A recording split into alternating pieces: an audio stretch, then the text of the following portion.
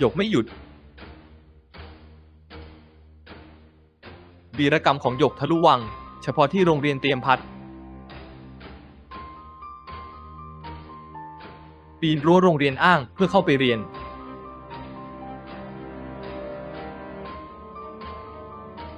จะไปเข้าค่ายร่วมกับเพื่อน ทั้งๆทที่ไม่มีสถานะนักเรียน สร้างฉากอ่านหนังสือหน้าโรงเรียน รอบนี้ชัดเจน หยกจัดฉากออกสื่อ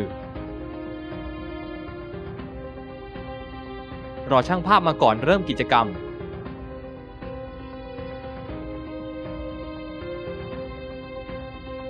ทุกอย่างมีการเตรียมการ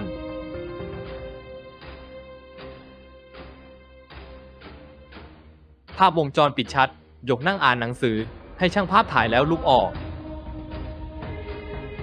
ที่ผ่านมาหยกชื่นชม แนวทางของเนติวิทย์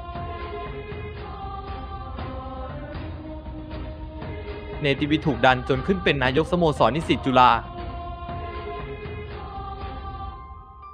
เสนอยกเลิกพิธีอัญเชิญพระเกี้ยว ในงานฟุตบอลประเพณีจุฬาธรรมศาสตร์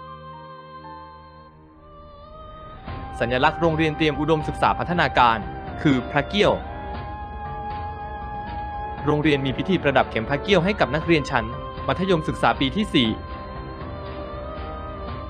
รัฐมนตรีว่าการกระทรวงการพัฒนาสังคม และความมั่นคงของมนุษย์เตรียมแก้ปัญหาทั้งระบบ โบนัฐถามหัฒนาเสนอแนวทางแก้ปัญหาหยกหลายครั้ง ทั้งเรื่องผู้ปกครองและการใช้กฎหมาย ประมวลกฎหมายอาญามาตรา